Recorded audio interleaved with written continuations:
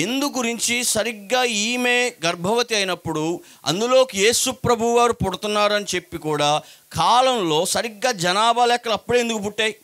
ఎందుకు అప్పుడే జనాభా లెక్కలు స్టార్ట్ చేయబడ్డాయి అని అంటే కేవలం దీని గురించే.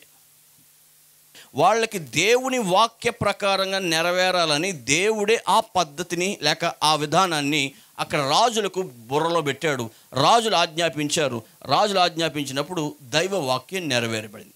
దేవుని వాక్యం నెరవేరాలనే ఉద్దేశం ఎందుకనంటే యేసుక్రీస్తు వారు పలానా ప్లేస్లో పుడతాడు.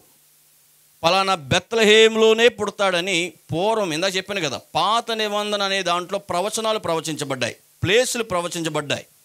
పలానా ప్లేస్లో రక్షకుడు పుడతాడనే ప్రవచన వచ్చింది. ఇప్పుడు ఆ ప్రవచనం అలా ఉండిపోవడానికి దేవుడికి ఇష్టం లేదు.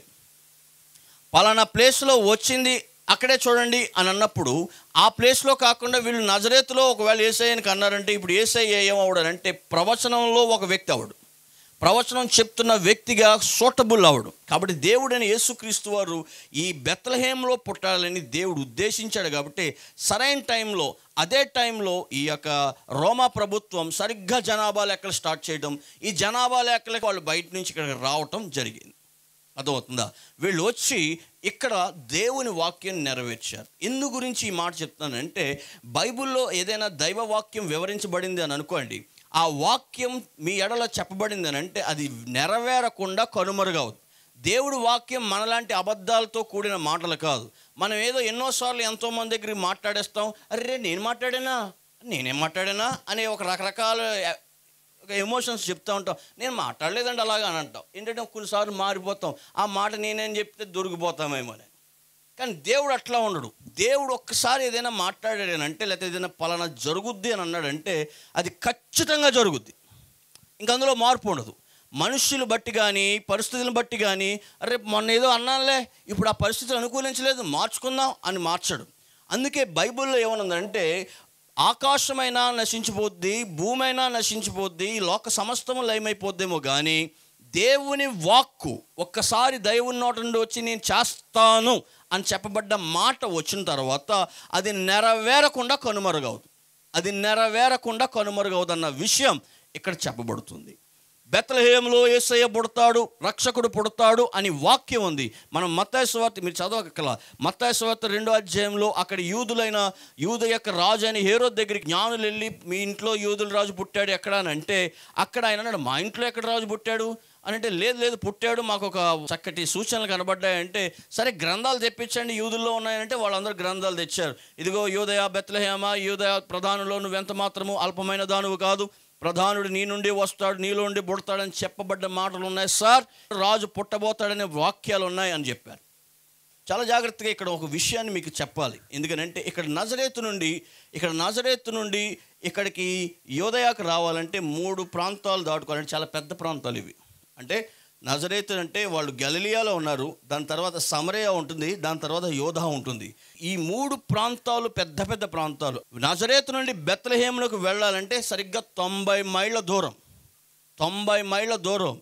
అంటే వారు కాలి నడకన కానీ వెళ్తే ఆమె ఇంచుమించు తొమ్మిది నెలలు వచ్చేసాయి కాబట్టి ఆ టైంలో ఆమెను గాడిద మీద ఎక్కించుకుని వీళ్ళు ఈయన నడుచుకుంటూ వెళ్తే సరిగ్గా ఆయన రోజుకి రెండున్నర నుండి మూడు మైళ్ళు ప్రయాణం చేయగలుగుతాడు తప్ప అంతకు మించి ప్రయాణం చేయలేడు. అంటే నజరేతు నుండి ఇక్కడికి రావటానికి వారికి ఏడు నుండి పది రోజులు ప్రయాణం వారు సాగించారు. ఏడు నుండి పది రోజులు ప్రయాణం సాగించారు. ఎందు గురించి ఒక గర్భవతిని అంతగా దేవుడు నడిపించాడంటే అది కూడా దేవుని వాక్యం నెరవేరాలనే. ఆయన మాటలు గాలి మాటలు కాదు. ఆయన ఏదో నాలుగు మాటలు చెప్పి మిమ్మల్ని మంత్రముగ్ధులు చేసి మిమ్మల్ని ఆహా ఓహో అనిపించే మాటలు కాదు అది. ఆయన ఒక్క మాట ఇస్తే ఆ మాట నెరవేరకుండా మాడదు ఇందులో మీరు నేను నేర్చుకునే పాఠం దగ్గరికి వద్దాం. ఇప్పటి వరకు చరిత్ర దగ్గరికి వెళ్ళాం. అందులో ఉన్న విషయాలు తెలుసుకున్నాం. బైబిల్లో ఉన్న సత్యాలు తెలుసుకున్నాం. అప్పుడు మీరు నేను నేర్చుకోవాల్సిన విషయం ఏంటంటే ఇక్కడ దేవుని వాక్యం మన దగ్గర కూడా ఒకటి నెరవేరాల్సి ఉంది ఏంటంటే మనందరము దేవుని వైపుకు తిరగాలన్నది ఆయన వాక్యం. మనందరము దేవుణ్ణి నమ్ముకోవాలన్నది ఆయన వాక్యం. మనందరము దేవుని యందు ఆ యొక్క చక్కటి అన్యోన్య సహవాసం రిలేషన్షిప్ కలిగి ఉండాలన్నదే దేవుడి వాక్యం. ఇట్లాంటి వాక్యాలు మనకు నచ్చవు. ఇట్లాంటి వాక్యాలు నెరవేరట్లా. కారణం ఏంటంటే మనకు నచ్చదు. అందుగురించి ఆ వాక్యం అట్లా ఉండిపోయింది. ఆ వాక్యం అట్లా ఉండిపోతూ అలా సాగిపోయింది. చాలామంది జీవితాల్లో ఎప్పుడు వాక్యం నెరవేరాలనుకుంటారో తెలుసా అండి? ఫర్ ఎగ్జాంపుల్ ఒక కుటుంబంలో చాలా బాధ ఉంది చాలా వేదన ఉంది చాలా కష్టం ఉంది చాలా ఇబ్బంది ఉంది రోజు ఏడిపే వారికి రోజు బాధే వారికి అలాంటి వారి కుటుంబంలో దైవజనుడు ప్రవేశించి అమ్మ నీ దుఃఖ దినములు సమాప్తమయ్యాయి. ఇక నువ్వు బాధపడక్కర్లా దేవుడు త్వరలోనే నీ జీవితంలో ఉన్న దుఃఖాన్ని తీసేస్తాడంటే దాని నిమిత్తం నమ్ముతారు చాలామంది. నిజమే నా కుటుంబంలో దుఃఖం పోవాలని. కానీ వీళ్ళందరికీ ఏమని ఉంటుంది ఈ కుటుంబస్తులందరికీ ఏమని ఉంటుంది ఎప్పుడు ఈ వాక్యం చెప్పండి ఎప్పుడు ఈ వాక్యం నెరవేరుతుందా? ఎప్పుడు ఈ వాక్యం నెరవేరుతుందా అని ఆశతో నిరీక్షణతో చూస్తారు. సరే ఇది మంచి పద్ధతి. కానీ దేవుని వాక్యంలో మరొక వాక్యం నెరవేరాల్సి ఉంది. ఏంటంటే మీరందరూ సత్ప్రవర్తనతో ఉండాలి. సత్ప్రవర్తన అంటే మంచివారిగా బతకాలి మంచివారిగా జీవించాలి. ఈ వాక్యం కూడా మీ కుటుంబంలో నెరవేరాల్సి ఉంది. కానీ చాలామంది ఈ వాక్యాన్ని పక్కకు పెట్టి మా బాధల నిమిత్తమే వాక్యం నెరవేర్చు ప్రభువా అని అంటారు. నీకు అర్థమవుతుందా? మా బాధల నిమిత్తమైన వాక్యం నెరవేర్చు. ఆ వాక్యమే నెరవేరాలి. ఆ వాక్యమే మా జీవితంలో ఫలింపబడాలి అని అంటారు కానీ దేవుడు అన్నాడు నీ తోటి వారిని ప్రేమించు అన్నాడు. ఆ వాక్యం నెరవేరుతున్నాం మనం? దేవుడు అన్నాడు నీ జీవితంలో ఉన్న ప్రతి విధమైన పాపాన్ని వదిలిపెట్టే అన్నాడు. ఆయన అన్నాడు ఆయన వాక్యం నీ జీవితంలో నెరవేరాలి. అందుకే ప్రభువా మాకు ప్రార్థన చేయడం ఎలా రాదంటే ఆయన చెప్పిన ప్రార్థన ఇలా ఉంది. పరలోకమందున మా తండ్రి నీ నామం పరిశుద్ధపరచబడును గాక. నీ నామము పరిశుద్ధపరచబడిన అనంతరం నీ చిత్తం పరలోకంలో నెరవేరబడుతుంది. ఆయన చిత్తం అంటే ఆయన వాక్యం. ఆయన వాక్యం పరలోకంలో నెరవేరబడినట్లు మా జీవితాల్లో కూడా నెరవేరబడును గాక అని ప్రార్థన చేయండి అన్నాడు. ఆ ప్రార్థనలో ఆయన వాక్యం నెరవేరాలని ఆయన ఆశిస్తున్నాడు. ప్రార్థనలో కూడా వాక్యం నెరవేరాలి అంటే మీ ప్రవర్తనలో కూడా వాక్యం నెరవేరాలన్నదే ఆయన ఉద్దేశం. అందుకే తన శిష్యులకు పరలోకంలో ఆయన చిత్తం నెరవేరబడుతుంది. మీ జీవితాల్లోనే ఇంకా ఆయన చిత్తం నెరవేరబడటం లేదు. ఆయన వాక్యం మీ హృదయాల్లో నెరవేరబడట్లేదని ఈ వాక్యం యొక్క ఉద్దేశం. అందు గురించి చూడండి దేవుని వాక్యం నెరవేర్చడానికి ఆయనకి అప్పగించుకున్న వారిని శ్రమ పెడుతున్నాడు మరియమ్మ దేవునికి అప్పగించుకుంది. యోసేపు దేవునికి అప్పగించుకున్నారు వాళ్ళిద్దరూ కూడా దేవుడి చిత్తమే జరగాలని ఆశించారు. వాళ్ళకి పెళ్ళవలా వాళ్ళ ప్రధానం మాత్రమే చేయబడింది. కానీ పరిశుద్ధిని కనటానికి కన్యకగా ఆమె సిద్ధపడింది. ఆమెను కాపలా కాయటానికి ఈయన సిద్ధపడ్డాడు. ఇద్దరు కూడా దేవుడి దగ్గర నుండి వాక్యం ద్వారా హెచ్చరించబడ్డారు. ఎందుకంటే కన్యకగా ఉన్నప్పుడు నేను అలా కంటానంది నువ్వు కనగలుగుతావు. దేవుని పరిశుద్ధాత్మ నీ మీద వస్తాడు. వచ్చినప్పుడు నువ్వు గర్భాన్ని ధరిస్తావు. అయ్యో గర్భం ధరిస్తే నలుగురు తన్నుతారు నలుగురికి అపార్థంగా కనబడుతుంది అని అన్నా లేదు లేదు నీకు దేవుడు నీ కార్యం చేస్తాడని అంటే సరే నాకు నలుగురు ఏమనుకున్నా కానీ నీ చిత్తమే నెరవేరాలని అప్పగించుకుంది. యోసేపు గారేమో ప్రదానం చేయబడ్డ ఆమెకి గర్భం రావటం ఏంటి? నాకు ఇదేదో తేడాగా ఉంది. నలుగురిలో అవమానపరచడం కంటే రహస్యంగా ఆమె నాకు ఎవరో తెలియదని ఊరుకుంటే నయమని అంటే పడుకున్నాక దేవుడు అన్నాడు ఆమె ఏమి చెడ్డ పని చేయలా. దేవుడి కార్యం ఇది నెరవేరబడుతుంది. కాబట్టి నువ్వు కూడా ఒప్పుకుంటావా? అంటే దేవుని కార్యాన్ని ఒప్పుకున్న వారు ఉన్నారు వీళ్ళిద్దరూ దేవుని యొక్క వాక్యాన్ని నెరవేర్చుతూ ప్రయాణం చేస్తున్నారు. వాక్యమే నెరవేర్చుచూ ప్రయాణం చేస్తున్న వీరిరువురిని బాధ పెట్టైనా సరే తన వాక్యాన్ని నెరవేర్చుకుంటున్నాడు. కారణం మీరు నేను నెరవేర్చట్లేదని. మీ జీవితాల్లో నా జీవితాల్లో ఆయన వాక్యం నెరవేరాలన్నది ఆయన ఉద్దేశం. జాగ్రత్తగా వినండి. ఇక్కడ దేవుడు వాక్యం నెరవేరితే నాకేంటి అనుకుంటారు చాలామంది. ఇక్కడ దేవుడు వాక్యం నెరవేరితేనే మనకు మనశ్శాంతి. దేవుడు వాక్యం మన జీవితాల్లో ఆ గొప్పగా ఫలించి మనం ఆ కార్యక్రమం ప్రకారంగా చేస్తేనే మన ఆశీర్వాదం. రైలుకి రైలు పట్టా మీద నడిస్తేనే రైలు గమ్యస్థానం చేరుద్ది. రైలు రైలు పట్టా దాటితే గమ్యస్థానము చేరదు. అర్థమవుతుందా మీకు? దేవుని వాక్యం మనకు ఒక పట్టా లాంటిది. ఈ పట్టా మీద మనం వెళ్ళి ముందుకెళ్తేనే మన మార్గాలు సన్నిహితంగా అక్కడ ముగించగలుగుతాం. ఈ పట్టాలు కాకుండా మనం ఏర్పాటు చేసుకున్న మార్గాల్లో వెళ్తే మధ్యలో రాళ్ళు రప్పలు మధ్యలో ముళ్ళులు మధ్యలో ఆటంకాలు నువ్వు వెళ్ళలేని పద్ధతులు నువ్వు అక్కడే సతికిలు పడిపోవాల్సిన విధానం. వాక్యం కానీ మనం నెరవేరిస్తే మనకు ఒక చక్కటి మార్గం దేవుని వాక్యం. దేవునికి స్తోత్రం. బాధలలో ఒక మంచి మార్గం. అలాగే మన యొక్క భవిష్యత్తు అంధకారం అవుతున్నప్పుడు ఒక చక్కటి మార్గదర్శకం. అందుకే నీ వాక్యం నా జీవితంలో వెలుగు అని చెప్పబడింది. నీ వాక్యం నా జీవితంలో మార్గదర్శకం అని చెప్పబడింది. దేవుని వాక్యు దేవుని వాక్కు మన జీవితంలో ఆస్వాదించుకుని ఆయన వాక్కు నెరవేరాలని ఆశించిన ప్రతి ఒక్కరూ అప్పగించుకున్న ప్రతి ఒక్కరి జీవితం ఆశీర్వదించబడుతుంది. ఈరోజు ఎందుకు మరియా గురించి యోసేపు గురించి చెప్పుకుంటున్నామంటే వాళ్ళు దేవుళ్ళు గాను దేవతలు గాను పూరించమని కాదు. వాళ్ళు దేవుని చిత్తానికి అప్పగించుకున్నారు. అంటే వాక్యానికి అప్పగించుకున్నారు. అందు గురించే చక్కటి ప్రపంచంలో యేసుక్రీస్తు వారిని లోకంలో ఇవ్వగలిగారు. వాళ్ళు ఒప్పుకోకపోతే యేసుక్రీస్తు వారు ఇంకొకరికి వచ్చును. అప్పుడు వాళ్ళు ఇంకొకరి నామాన్ని మనం మాట్లాడుకుందాం. కానీ వీళ్ళిద్దరూ దేవుని వాక్యాన్ని ఒప్పుకున్నారు కాబట్టి వాళ్ళిద్దరి మాటలు ఇప్పటికీ చెప్పుకుంటున్నాం. ఆ రీతిగానే ఇరువురి యొక్క సహాయం ద్వారా దేవుడు అనేక మందికి ఆశీర్వాదంగా పుట్టాడు. మనం దేవుని వాక్యం వింటే మనల గురించి రానున్న దినాల్లో ఎంతోమంది ఆశీర్వాదం పొందుతారు. మన దీవెన ఎంతోమందికి దీవెనగా ఉంటుంది. మన ఆశీర్వాదం ఎంతోమందికి ఆశీర్వాదం ఉంటుంది. ఎందుకు ఈరోజు ఒక మంచి వ్యక్తి మంచి వ్యక్తిగా బతకలేకపోతున్నాడు? ఎందుకు ఈరోజు చాలామందికి మార్గదర్శకాలు కనబడబోతున్నాయి? ఉదాహరణగా ఒక మంచి టీచర్ని చూద్దామంటే సరిలేకపోయాడు టీచరే చాలా విచారకరమైన ఆకృతికరమైన కార్యాలు చేసిన వాళ్ళు ఎంతోమంది పేపర్లోను టీవీలోను చూస్తున్నాం. తండ్రే చాలా ఆకృతికరమైన కార్యాలు చేస్తున్నట్టు చూస్తున్నాం. ఎంతోమంది ఇంట్లో వాళ్ళే మోసం చేసి చాలా పాపిష్టి కార్యాలు చేస్తున్న వాళ్ళు చూస్తున్నాం. ఎవరు కూడా మనకి మంచి ఆదర్శంగా లేకపోయారు. అలాంటి సమయంలో కూడా దేవుడు వాక్యే మనకు ఆదర్శం. దేవునికి స్తోత్రం. ఎలా బ్రతకాలి ఎలా జీవించాలి ఏది రైటు ఏది రాంగు ఇవన్నీ సుక్రీస్తు అనే యొక్క వాక్యం ద్వారానే మనకు సాధ్యం. అందుకే వాక్యం నెరవేరాలని దేవుడు ఆశిస్తూ ఆనాటి దినాల్లో ఆయన పుట్టేటప్పుడు ఆ అంత దూరం నుండి ఇంత దూరం వరకు వాళ్ళు నడిపించాడు. దేవునికి స్తోత్రం.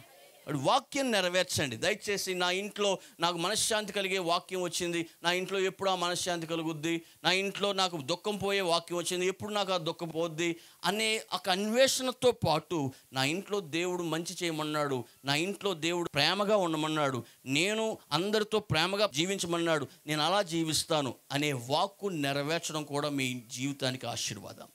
మీరు దేవుని చిత్తాన్ని దేవుని యొక్క చిత్తాన్ని నెరవేర్చండి అప్పుడు దేవుడు ఆశీర్వాదాలు మీ మీదకి వస్తుంది. మీరు దేవుడి చిత్తం నెరవేర్చకుండా దేవా నాకు సహాయం చేయి నా దుఃఖదినాలు తీసే నాకు ఎప్పుడు ఆ కార్యం చేస్తావని వాగ్దానాల వైపు ఎన్నిసార్లు చూసినా దానివల్ల ఉపయోగం లేదు. కాబట్టి వాక్యం మన జీవితంలో నెరవేరాలని దేవుడి యొక్క జనన విషయంలో మనకు సెలవిస్తున్నాడు. దేవుని స్తోత్రం చెప్పండి. రెండవది మీకు చెప్పాను. ఏంటది? పొత్తిగుడ్డలు. పొత్తిగుడ్డల గురించి చెప్తాను జాగ్రత్తగా వినండి. ఈ పొత్తిగుడ్డల యొక్క విషయంలో ఏమని రాయబడింది అంటే పొత్తిగుడ్డలు దేని సూచిస్తున్నాయి? పాత గుడ్డను సూచిస్తున్నాయి. సహజంగా పిల్లలు పుట్టినప్పుడు ఇవన్నీ పొత్తిగుడ్డలు చుడతారు. చిన్నపిల్లలు సరిగ్గా తల్లి గర్భం నుంచి బయటకు వచ్చిన తర్వాత పొత్తిగుడ్డలు అని అంటాం వాటిని మన తెలుగు భాషలో. అట్లాంటి క్లాత్స్ వాళ్ళకి చుడతా ఉంటాం. పొత్తిగుడ్డలు అనే వాటికి మూడు లక్షణాలు ఉన్నాయి. ఒకటి ఏంటంటే అవి పాత గుడ్డలై ఉంటాయి ఖచ్చితంగా. అవునంటారు కాదంటారా? పాత గుడ్డలై ఉంటాయి. రెండోది ఏంటంటే నలిగినవై ఉంటాయి. ఇస్త్రీ చేసి పెట్టాం కదా? నలిగినవి ఉంటాయి. మూడోది ఏంటంటే మెత్తగా ఉంటాయి. ఈ మూడు విషయాలు మనం ఇప్పుడు చర్చించుకుని మూడో విషయంలోకి వెళ్ళిపోదాం. యేసుక్రీస్తు వారికి పొత్తిగుడ్డలు చుట్టడానికి కారణం ఏంటనేది ఒక సూచన అది. అందరికీ చుడతారు కానీ యేసుక్రీస్తు వారు చుట్టారని రాయబడిన దానికి కారణం ఏంటంటే అది ఒక సూచనగా మనకు చెప్పబడుతుంది. కనీస పొత్తిగుడ్డలలో నుండి అయినా సరే మనం సందేశాన్ని తెలుసుకుంటున్నాం అంటే యేసుక్రీస్తు వారు ఏం చేసినా ఆయన పుట్టినా ఆయన పెరిగినా ఆయన మాట్లాడినా ఆయన ఏం చేసినా అది ఒక మనకు గొప్ప ఆశీర్వాదంగా మార్చబడింది. అందుకే ఆయన పుట్టినప్పుడు సహజంగా అందరికీ చుట్టినట్టే పొత్తిగుడ్డలు చుట్టబడింది. కానీ ఏసై చుట్టడం అనే దాంట్లో ఒక విచిత్రమైన సందేశం ఉంది. ఆ సందేశం ఏది? పాత గుడ్డగా దానిని గుర్తిస్తున్నాం. యేసుక్రీస్తు వారు ఎందుకు ఈ లోకంలో పుట్టాడంటే ఈ పాత జీవితాన్ని తీసివేయడానికి. చెప్పండి దేనికి? యేసుక్రీస్తు వారు పుట్టడానికి కారణం అదే. మనమంతా ఏడుపుతోనూ బాధతోనూ సంబంధమైన సమస్యలతో వచ్చున్నాం. ఇప్పుడు ఈ జీవితం నుండి నూతన ప్రపంచంలోకి వెళ్ళాలనేదే దేవుడి ఉద్దేశం. అందుగురించే పాతవన్నీ నశించిపోవాలని పాత జీవితంలో ఉన్నవన్నీ పాడై నాశనం అవ్వాలని దేవుడు ఉద్దేశించి పాత గుడ్డలు పొత్తి గుడ్డల్లో పాత దాన్ని దేవుడు గుర్తు చేస్తూ మీ పాత జీవితాన్ని అంతటినీ తీసేస్తానని యేసుక్రీస్తు వారు ఈ లోకంలో జన్మించాడు. బైబిల్లో అందుకే ఒక మాట ఉంది. యేసుక్రీస్తునందున్న వారికి నూతన సృష్టి వారికి ఏర్పాటు చేయబడిందట. యేసుక్రీస్తునందున్న వారందరికీ నూతన సృష్టి ఏర్పడింది. అంటే రెండు వేల పదిహేడు నుంచి అప్పుల బాధతో ఉన్నారు. రెండు వేల పద్దెనిమిది రెండు వేల పంతొమ్మిది రెండు వేల ఇరవైలో కూడా అప్పులతోటి ఏడవాలా? రెండు వేల పంతొమ్మిదిలో లేదా రెండు వేల పదహారులో నేను ఎంతో అనారోగ్యంతో పడ్డాను. రెండు వేల ఇరవైలో కూడా అనారోగ్యంతో అడుగుపెట్టాలా క్రొత్త జీవితంలో క్రొత్త సంవత్సరం మనకు రాబోతున్నప్పుడు మన జీవితంలో క్రొత్తవి జరగాలని ఆశిస్తూ ఉంటాం. అది యేసుక్రీస్తు వారి యొక్క జననం యేసుక్రీస్తు వారిని నమ్మటం ద్వారా మనకు క్రొత్త పరిస్థితి ఏర్పడుతుందని బైబిల్ సెలవిస్తుంది. అందుకే కొరిందులు రాసిన పత్రికలు అపోసలైన పౌలే ఉంటాడంటే క్రీస్తునందున్న వారు నూతన సృష్టి అని అంటారు. యేసు ప్రభు ఉన్న వారి జీవితంలో క్రొత్త ప్రపంచం వారికి దేవుడు అనుగ్రహిస్తాడు. వారి పాత యొక్క పాప జీవితం అంతటి నాశనం అయ్యి క్రొత్త జీవితం వారు ప్రారంభిస్తారు. పాత శాప పాప సంబంధమైన సమస్యలన్నీ మీదకు రాకుండా వాళ్ళ జీవితంలో కొత్త ఏర్పరచబడతాయని చెప్పి ఈ పొత్తిగుడ్డలలో మొట్టమొదటి సూచనగా ఉన్న పాత గుడ్డ గురించి వివరించబడింది. ఇక నలిగింది కూడా మనకి వివరించబడింది ఏంటంటే నలిగిపోయిన హృదయాలను నలిగిపోయి విసికి వేసారిపోయి ఇంక నా జీవితం ఇంకే భవిష్యత్తు రాదా? ఇంతేనా? రోజు ఇదే బాధ రోజు ఇదే కష్టమా? రోజు ఇదే సమస్య రోజు ఇదే నాశనమా? ఇంక నేను ఇంతేనా? మా ఆయన ఇంతేనా? ఇంక ఇలా తాగుతానే ఉంటాడు? నేను ఇలా ఇబ్బంది పడతానే ఉండాలా? నేను ఈయన ఇలా వచ్చి కొడతానే ఉంటాడు? నేను ఇలా కొట్టించుకుంటానే ఉండాలా? నేను ఇలాగ అప్పులతోనే ఉండాలా? నేను ఇలాంటి బాధలతోనే ఉండాలా? ఇట్లాంటి నలిగిపోయిన హృదయానికి చాలా ప్రశ్నలు ఉంటాయి. చాలా ఇబ్బందులు ఉంటాయి. చాలా ప్రశ్నలకు సమాధానం వారికి దొరకదు. నలిగిపోయిన హృదయాల్లో చాలా మటుకు వాళ్ళ ప్రశ్నలకు సమాధానం దొరకదు. కానీ నలిగిపోయిన హృదయాలకు ప్రశ్నకు సమాధానం యేసు ప్రభువారే దేవునికి స్తోత్ర.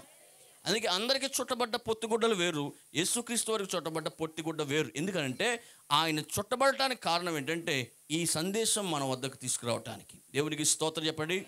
అలెలోయ పాత దాని గురించి రాయబడింది అలాగే నలిగిన దాని గురించి చెప్పబడింది అలాగే మనం చివరిగా మెత్తనిది గుడ్డ మెత్తనిదిగా ఎలాగైతే ఉంచుకుంటామో అట్లా చెప్పండి. మెత్తనిది అని అంటే మనలో చాలామంది హృదయాలు కరుకుగా ఉంటాయి. బీసిపోతారు. కొంతమందికి ఏవో స్ట్రాంగ్ అయిపోతారు ఆ విషయంలో. ఇక మెత్తధనం అనేది వారికి రాదు. అలాంటి వారందరి జీవితంలో మెత్తని హృదయం కలిగించడానికి దేవుడు ఇష్టపడతాడు.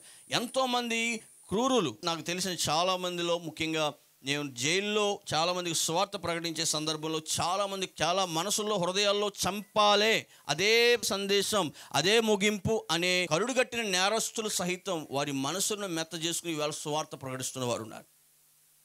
చచ్చిపోవాలందరినీ చంపడమే వాళ్ళు నేర్చుకున్నారు చిన్నప్పటి నుంచి. అలాంటి వారు జైల్లో ఉండి దేవుని వాక్యాన్ని విని ఇక నుంచి చంపడం కాదు బతికించడం నేర్చుకుందామని వారి హృదయాలు. ఒక పీకులు నరికేసి రకరకాలుగా కోసేసిన వాళ్ళు క్రూరస్తులు వాళ్ళ హృదయం మార్పు చెంది ఈరోజు మెత్తని హృదయం వారికి ఏర్పాటు చేయబడింది. మెత్తని ఆలోచన అంటే సున్నితంగా ఎవరిని ఇబ్బంది పెట్టకుండా మనము వారి కొరకు వీలైతే ఇబ్బంది పడి అందరికీ దీవెని తీసుకురావటాకే దేవుడు వారి హృదయాలు మారుస్తాడు. ఆ విషయం ఇక్కడ చెప్పబడుతుంది. దేవునికి స్తోత్రం. అందు గురించే ఆయనకు పొత్తి గుడ్డలు చుట్టబడ్డాయి. చెప్పలు కూడా దేవుని స్తోత్రాలు? చెల్లించాను త్వర త్వరగా ఇంక చివరి మాట నేను చెప్పేసి ముగిస్తాను. ఇక మూడోదిగా మనం స్థలము లేనందున అన్న విషయం గురించి వివరించబడుతుంది. స్థలము లేనందున అని అంటే చూడండి ఇక్కడ యేసుక్రీస్తు వారు జన్మించిన టైంలో ఆయన్ని పశువుల శాలలో పండుకొని పెట్టారని బైబుల్ చెప్తుంది. పశువుల శాలలో పండుకొని పెట్ట కారణాలు చాలా ఉన్నాయి. కారణం నెంబర్ వన్. అనేక మంది అదే టైంలో ఊరంతా నిండిపోయారు. ఎందుకంటే అందరూ జనాభా లెక్కలకు వచ్చేసారు కదా. అందరూ కూడా ఊరంతా నిండిపోయి ఎక్కడ కనీసం పడుకుంటా కూడా స్థలం లేదు. వారు వారి చుట్టాలతో నిండిపోయారు. వారు వారి సొంతమైన మనుషులతో నిండిపోయారు. బయట వాళ్ళు ఎవరికి అవకాశం లేదు. ఈవెన్ సత్రాల్లో కూడా స్థలాలు లేదు. ఇప్పుడు యేసుక్రీస్తు వారు సరిగ్గా అదే టైంలో జన్మించే టైం అయింది. అదే టైంలో ప్రసవించే సమయం వచ్చేటప్పటికి స్థలం లేదు ఆయన పడుకోబెట్టడానికి. ఆ విషయం కూడా బైబిల్లో పొందుపరిచారు. స్థలం లేదు. కనీసం ఆయన తీసుకెళ్ళి ఒక ఇంట్లో ఒక చక్కటి మంచంపై పడుకోబెట్టడానికి కూడా స్థలం లేదు. అంటే ఎంతటి విచారకరమో చూడండి. ఎంతటి విచారకరమైన విషయము. సృష్టించిన సృష్టికర్తే సృష్టించిన సమస్తాన్ని ఏర్పాటు చేసి మా బహుమతిగా ఇచ్చిన ఆయనకు ఆయన మళ్ళా జన్మించి మన కొరకు విమోచన ఇవ్వటానికి వచ్చి జన్మించినప్పుడు అయ్యా నువ్వు వచ్చావు కానీ మా దగ్గర స్థలం లేదు నీవు చేసింది ఏదో చేసుకుని నువ్వు ఇంటికి వెళ్ళిపో అన్నట్టుగా చేసేసాం మనం. ఈనాటికి కూడా ఇంతటి బహు బలహీన స్థితిలో మన పరిస్థితులు ఉన్నా అందరినీ పెట్టుకుంటాం కానీ ఏసైని పెట్టాం. అందరినీ మన హృదయాల్లో వేయించుకుంటాం కానీ పెట్టుకుంటాం కానీ ఏసైని మాత్రం రానివ్వు. వస్తే మన జీవితంలో ఆశీర్వాదం వస్తుందని ఈ లోపల ఉన్న అసలైన దుర్మార్గుడికి తెలుసు కాబట్టి. వాడు అసలు ఏసై అని మాట ఎత్తనేవాడు వాడు ఏసై ఊసి ఎత్తనేవాడు ఆయన పక్కకి గెంటే అని అంటాడు. ఆయన గురించి పట్టించుకోక అంటాడు. నువ్వు ఆయన మాట వినొద్దు అంటాడు. చెప్పేవాళ్ళు అలాగే చెప్తారు. వాళ్ళకి తినడానికి ఏమి లేక ఏదో చెప్పడానికి వాళ్ళకి రాక వాళ్ళు అలా నిలబడి వాగుతూ ఉంటారు. ఏమి పట్టించుకోక నీ పనేదో నువ్వు చూసుకో అంటాడు. ఇదంతా ఏంటనంటే యేసుక్రీస్తు వారు మన హృదయంలోకి వస్తే ఆయన మనం స్థలం ఇస్తే మన జీవితాలు మారిపోయి అద్భుతమైన ప్రపంచంలో మనం ప్రవేశిస్తామని అది జరగకూడదని వాడు కబంధ హస్తాల్లో చాలామందిని గట్టిగా పట్టుకుంటున్నాడు. అందుకే ఈరోజు యేసుప్రభు వారి గురించి ఎవరైనా ఆయన మాటకు ఆయన యొక్క పుట్టుకకు లేకపోతే ఆయన మన హృదయంలో చేర్చుకోవడానికి స్థలం ఇవ్వరు ఏదైనా చెప్పండి వింట. కథ చెప్పండి వింట. అందులో ఒక మంచి మంచి జోకులేయండి వింట. ఏసైని గురించి చెప్పకండి అంటారు. ఎన్నైనా చెప్పండి అంటారు. చాలాసార్లు చూడండి ఎవరినైనా ఈ ప్రపంచంలో చాలా మటుకు ఏదైనా ఒప్పుకోదగిందే కానీ ఏసై గురించి ఒప్పుకోదగిందిగా ఉండరు చాలామంది. కారణం అక్కడికి వచ్చేటప్పటికి మన మనసులు ఒప్పుకోవు. మన మనస్సు తత్వాలు మెత్తనబడవు. ఎందుకు కాదు అది సత్యమని ఒప్పుకోదు. అది జరగాలి అని అంటే దేవునికి మనం స్థలం ఇవ్వాలి. దేవునికి స్తోత్రం ఆయన పుట్టడానికి కూడా స్థలం లేకుండా ఒక పశువుల తొట్టులైనా సరే నేను సర్దుకుపోతా. అప్పుడైతే నేను పశువుల తొట్టులో సర్దుకుపోయా. ఇప్పుడు మళ్ళా నన్ను పశువుల తొట్టులో పెట్టకండి. మీ హృదయంలో పెట్టుకోండి. మీ హృదయంలో పుట్టనివ్వండి అని ప్రభు ఆశిస్తున్నాడు. కానీ ఇప్పుడు కూడా నువ్వు పశువుల సాల్లోనే ఉండి ప్రభు మేము అలా మాట్లాడుతూనే ఉంటాం. మా పనులు మేము చేసుకుంటాం. మా హృదయాల్లో చెత్త అంతా పెట్టుకుంటాం అని అంటాం ఇప్పటికీ కూడా. కానీ ఏసైకి స్థలం ఇస్తే జరిగే అద్భుతాలు చెప్తాను వినండి. నా హృదయం ఎంతో భయంకరమైన హృదయం పూర్వం నేను చెప్పాలనంటే దాని గురించి అసలు ఒక ఒక రకమైన పిచ్చలో ఉన్న పరిస్థితి నా హృదయం. అట్లాంటి హృదయం ఈరోజు ఒక అనేక మందికి ఆశీర్వాదంగా మారింది అని అంటే అది ఎప్పటి నుంచో తెలుసాను మీకు నా హృదయంలో ఉన్న చెత్తంతా తీసి ఇక నీకు నాకు స్వస్తి నువ్వు నాకు జీవితంలో రావద్దు అని వాడి యొక్క మూర్ఖత్వాన్ని వాడి యొక్క అవివేకాన్ని లేకపోతే ఆ పాపాన్ని అంతటిని తీసేసుకున్నాక అప్పుడు యేసుక్రీస్తు నా హృదయంలోకి వచ్చారు. నేనే ఆహ్వానించాను ప్రభు నువ్వు రండి నాయన నా హృదయాన్ని మార్చాను నా జీవితంతో నేను చాలా చేసి నాశనం అయిపోయాను. ఇక లాస్ట్ టైంకి వచ్చేసాను. ఇక నాకు ముందున్నది మరణమే తప్ప ఇక బతుకు లేదు. నువ్వే నాకు ఉంటే నువ్వు నా హృదయంలోకి వచ్చి ఇవన్నీ తీసేసుకుంటా. ఇవన్నీ నాకు తీసేసుకున్న హృదయంలో నువ్వు రండి అని అన్నప్పటి నుంచి ఈ రోజు వరకు చెప్తున్నాను ప్రియులరా నా జీవిత పయనంలో ఎంతో ఆశీర్వాదమే చూశాను కానీ ఎప్పుడు నాశనాన్ని నేను చూడలేదు. దేవునికి స్తోత్రం కలుగునుగా ఇప్పటికీ కూడా ఆశీర్వాదమే నేను చూశాను కానీ నా జీవితంలో ఫలింపే చూశాను కానీ నా జీవితంలో ఎదుగుదలే చూశాను కానీ ఏ ఒక్క శక్తి నా ఎదుగుదలని ఆపడానికి ఏ ఒక్క శక్తి నాకున్న ఆ గొప్ప విధానమైన దేవుడు అనుగ్రహించిన మార్గాన్ని ఆపేయడానికి ఏ శక్తికి కూడా అధికారం దేవుడు ఇవ్వలేదు. నా హృదయంలో దేవునికి ఎప్పుడైతే నేను చోటిచ్చానో ఆనాటి నుండి నా బతుకు మారేది. ఆనాటి నుండి నేను నా జీవితం అన్న జీవితము నేను అనేక మందికి ఉపయోగపడాలనే జీవితంలోకి వచ్చాను. నేనే నాకు మాత్రమే నేను మాత్రమే జాగ్రత్తగా సంపాదించుకుని నేను మాత్రమే జాగ్రత్తగా నా యొక్క ప- పనిని చేసుకోవాలనే మనసు నాకు రాలా. లేదంటే నేను బాగానే చదువుకున్నా. నా చదువుకి బోళ్ళని డబ్బులు తగలబెట్టాను. చాలాసార్లు ఎన్నోసార్లు ఎన్నో లక్షలే అయ్యాయి. అయినా నా చదువును బట్టి నా ఉద్యోగాన్ని నేను వెతుక్కోలా. కారణం ఏంటంటే నేను నా ఉద్యోగం చేసుకుంటే నేను నా ఇద్దరు పిల్లలు నా భార్య నా కుటుంబం మా డాడీ మమ్మీ అంతా హాయిగా నీట్గా ఉన్నత స్థాయిలో ఉంటాం. అది ఎంతవరకు? అది ఎంతవరకు? నేను చచ్చిపోయిన తర్వాత నాకు ఈ నలుగురే కనబడతాను నేను చచ్చిపోయిన తర్వాత అరే వీళ్ళు మాత్రమే నేను పోషించాను అనిపిస్తుంది. నాకు అది ఉపయోగంలా? నా మనసుకు ఉపయోగంలా? నా హృదయంలో ఏసై వచ్చిన తర్వాత నుంచి నా జీవితం ఏమైందని అంటే నేను నా జీవితం కాదు. నేను బ్రతికితే ప్రభు కొరకే అనేక మందికి దీవెనగా బతకాలి నేను కలిగింది అనేక మందికి పంచాలని నేను సిద్ధపడ్డాను అది నా దేవుడు నా హృదయంలోకి వచ్చిన తర్వాత జరిగింది. నా వల్ల కానీ నా బుద్ధి వల్ల కానీ నా బుర్ర వల్ల కానీ జరిగింది కాదు. చిన్నప్పుడు ఇంత చాక్లెట్ కూడా పెట్టేవాడిని కదా నేను. అలాంటోని ఇంతలా దేవుని వాక్యాన్ని పంచి పెడుతున్నాను. నాకు ఇవ్వబడ్డ ఆశీర్వాదాలు అనేక మందికి ఇస్తున్నానంటే కారణం ఏదనుకున్నారు? యేసు ప్రభు వారు నా హృదయంలో చేర్చుకున్నప్పుడు. నేను ఇప్పటికీ కూడా ఆయన పాక గురించి చెప్పడం కంటే ఇప్పటికీ కూడా నా హృదయంలో ఎప్పటికీ కూడా పదిలమైన స్థలాన్ని ఏర్పాటు చేసుకున్నాను. ఆయన ఎప్పుడు గెంటలేదు. ఆయన ఎప్పుడు నీ మాట నాకు లెక్కలేదు ప్రభు అని అనలా. ఆయన గురించి నేను ఏమాత్రం ఏ విషయంలో కూడా నేను చేయలేను ప్రభు అని అని కూడా అనలా. ఎప్పటికప్పుడు ఆయన ఏం చెప్తున్నాడో అది చేయడానికి నేను సిద్ధపడ్డాను. అందుకే ఈరోజు మీకు నేను చెప్పడానికి సమర్థుడయ్యాను. ఈరోజు ఎంతోమంది హృదయాల్లో ఏదో భయంకరమైన ఖాళీతో ఒంటరితనంతో ఏదో ఆందోళనతో ఎన్నున్నా కానీ అన్నీ బాగానే ఉంటాయి. అంతా బాగానే ఉంటుంది. అన్నీ ఉన్నా ఏదో లోటుగా ఉంటారు. అది పోడ్చగలిగే సామర్థ్యం యేసుప్రభు వారి మధ్య మాత్రమే ఉంది. దేవునికి స్తోత్రం. యేసుప్రభు వారు ఒక్కరి దగ్గరే ఉంది. అంతే తప్ప ఇంకెవరి వల్ల కాదు. ఎందుకంటే మన హృదయం దేవుని సహవాసాన్ని ఆశిస్తుంది. ఆయన దగ్గరికి వెళ్ళకుండా మనం ఏం చేస్తామంటే ఈ హృదయంలో డబ్బును పెడతాం. దానివల్ల ఎక్కువసేపు ఆనందంగా ఉండదు. స్నేహితులను పెడతారు. ఈ లోక సంబంధమైన గొప్ప గొప్ప అధికారులు పెడతారు. వారికి ఇష్టమైన వాటన్నిటిని పెడతారు. బంగారం పెడతారు. రకరకాలవన్నీ పెట్టి నువ్వు సంతోషమైనా? నువ్వు హ్యాపీగా ఉన్నావా? నువ్వు హ్యాపీగా ఉన్నావా? నువ్వు హ్యాపీగా ఉన్నావా అని అడుగుతారు. అది ఉన్నంతకాలం ఆ కొత్తదనం ఉన్నంతకాలం హ్యాపీగా ఉంటారు. ఆ కొత్తదనం మళ్ళీ మాయమైపోతే మళ్ళీ ఏడుపు స్టార్ట్ అవుద్ది. ఎంతోమంది హృదయాలు ఈ ఖాళీనే చూస్తున్నాడు దేవుడు. ఎంతోమంది హృదయాల్లో ఈ లోటునే చూస్తున్నాడు దేవుడు. అందుకే అంటున్నాడు నన్ను మీరు స్వీకరించి మీ హృదయంలో చోటు చేసుకోండి. నాకేం ఇవ్వకర్లా? మీరు నన్ను స్వీకరించడం ద్వారా నాకేదో వస్తుందని మీరు భావించొద్దు. మీ జీవితాలు బాగుండాలని నేను ప్రేమతో మిమ్మల్ని మీ గృహంలోనికి మీ హృదయంలోకి రావడానికి ఇష్టపడుతున్నాను. సృష్టికర్త అయిన ఆయన ఈ లోకంలో ఆ మన హృదయంలో రావటానికి ఇష్టపడుతున్నాడంటే ఆయనకి ఏదో వస్తుందని కాదు. మనం దీవించబడితే ఆయన సంతోషించడానికి. అందు గురించి ఆయన పశువుల తొట్టులైనా సరే సర్దుకుని నేను సృష్టించిన వాడినైనా నేను ఇందులో ఎందుకు పుట్టాలి? అని అనుకోకుండా ఇందులో ఎందుకు పని ఉండాలి అని అనుకోకుండా సర్దుకొని మన కొరకు రక్షణ భాగ్యాన్ని కంప్లీట్ చేసి ముగించి తిరిగి లేచి వెళ్ళిపోయాడు. మళ్ళా వస్తానన్నాడు. ఇప్పుడు ఈ వాక్యం ద్వారా మనందరికీ పిలుస్తున్నాడు. ఈ వాక్యం ఉద్దేశం అంతా ఏంటో తెలుసా? దేవుని వాక్యం మీ హృదయాల్లో నెరవేరాలని. ఆయన మీ జీవితంలోకి వచ్చినప్పుడే మీ జీవితంలో ఆశీర్వాదం అని ఈ వాక్యం యొక్క ఉద్దేశం.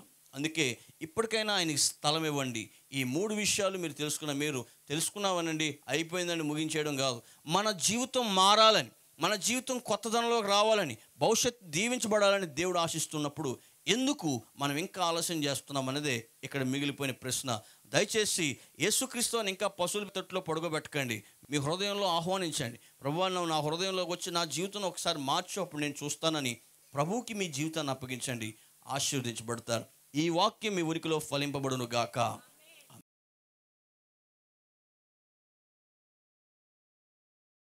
ప్రేమ నమ్మకమైన దేవా నీ పరిశుద్ధ శ్రేష్ఠ నామమునకు వందనాలు. నీవు ప్రేమించి మా కొరకే జన్మించి మా కొరకే మరణించి తిరిగి లేచిన దేవానికి స్తోత్ర.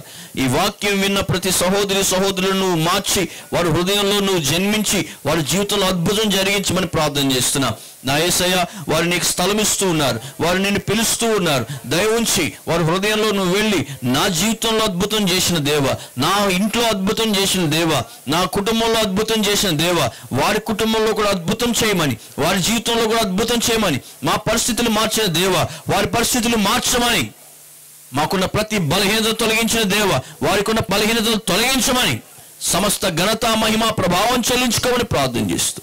ఈ క్రిస్మస్ సంబంధమైన శుభ సంబంధమైన దినాల్లో ఈ శుభ సంబంధమైన క్షణాల్లో వీరిని సువార్త ప్రకారంగా ప్రకటించబడగా వారి జీవితంలో అద్భుతము కనపరచమని నీ ఆశ్చర్యకార్యం కనపరచమని నీ మేలైన కార్యం కనపరచమని ఇందులో అడుగుపెట్టిన ప్రతి ఒక్కరి జీవితంలో నీ కార్యం జరిగినట్లుగా కృపదాయిచ్చేయమని నీ ఆశ్చర్య కార్యముతో నడిపించము. ఎవరెవరైతే గుండె భారముతో వచ్చారో ఎవరెవరైతే బాధపడుతూ వచ్చారో ఎవరెవరైతే ఏడుస్తూ వచ్చారో ఎవరెవరైతే ఎంతో నలిగిపోతూ వారి హృదయంలో ఉన్నది బయటకు చెప్పుకోలేక వచ్చారు వారి హృదయంలో ఉన్న వేదన చెప్పుకుంటే సిగ్గని వచ్చారు వారి హృదయాలన్నీ ముడుతున్నాను నువ్వు ఉన్నావనే ధైర్యం ప్రకటిస్తూ ఉన్నాను. నువ్వు ఉన్నావనే గొప్ప ప్ర- సువార్త వారి హృదయాన్ని ఇప్పుడే ముట్టండి. వారి హృదయాల్లో ఇప్పుడే ప్రభావం వెళ్ళండి నాయన. అద్భుతంగా దయచేయండి అదిరిపడుతున్న హృదయాన్ని కంగారు పడుతున్న హృదయాన్ని భయాందోళన చేయండి భవిష్యత్తు ఏమవుతుందో ఆందోళన పడుతున్న హృదయానికి అద్భుతంగా నీ కార్యం జరిగించమని. ఈ దాసుడిగా ఇక్కడ ఉన్న ప్రతి ఒక్కరి హృదయాన్ని నీ చేతిగా అప్పగిస్తున్నా యేసు క్రీస్తు శ్రేష్ఠ నామంలో ఇక్కడ ఉన్న ఆత్మలని నీ చేతిలో పెట్టి ప్రార్థన చేస్తున్నాము తండ్రి. ఆమెన్. ఈ సందేశాన్ని మరలా వినాలనుకుంటున్నారా? అయితే యూట్యూబ్లో B I B L E V A D D A K U bible వద్దకు అని టైప్ చేసి ఈ సందేశాన్ని మరలా వినండి. మరిన్ని ఆత్మీయ సందేశాల కొరకు ప్రక్కనే ఉన్న సబ్స్క్రైబ్ బటన్ని బెల్ బటన్ని ప్రెస్ చేయడం మర్చిపోకండి. ఆధ్యాత్మిక లేఖిని అను క్రైస్తవ ద్విమాస పత్రిక అనేక వందలాది మంది పాఠక ఆదరణ పొందుతున్నదని చెప్పుటకు ప్రభునందు సంతోషించుచున్నాము. దైవజనులు బ్రదర్ జి రాజశేఖర్ గారి కలమును దేవుడు వాడుకుని అందరూ చదువుకున్నటకు వీలుగా ఆధ్యాత్మిక అక్షరము మిషనరీ అక్షరము యవన అక్షరము మహిళా అక్షరము కుటుంబ అక్షరము సామాజిక అక్షరము విశ్వాసి అక్షరం ప్రశ్నకు జవాబు బైబిల్ సైన్స్ వంటి వివిధ శాఖలలో దైవ సందేశములు మరియు వివిధ ఆసక్తికరమైన విషయాలు పొందుపరుచుచున్నారు. కావున ఇటువంటి ఆకర్షణీయమైన ఆసక్తికరమైన విమాస పత్రికను మీరు పొందుకోవాలని ఆశిస్తున్నారా? అయితే ఇప్పుడే.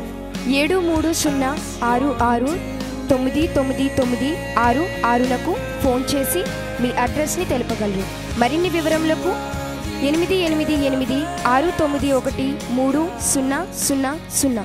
Our address brother G Rajasekhar S Chikkala Palakollu mandal west Godavari district Andhra Pradesh మా ఫోన్ నెంబర్లు triple eight six nine one three triple zero. మరి ఒక phone number triple eight six nine one four triple zero.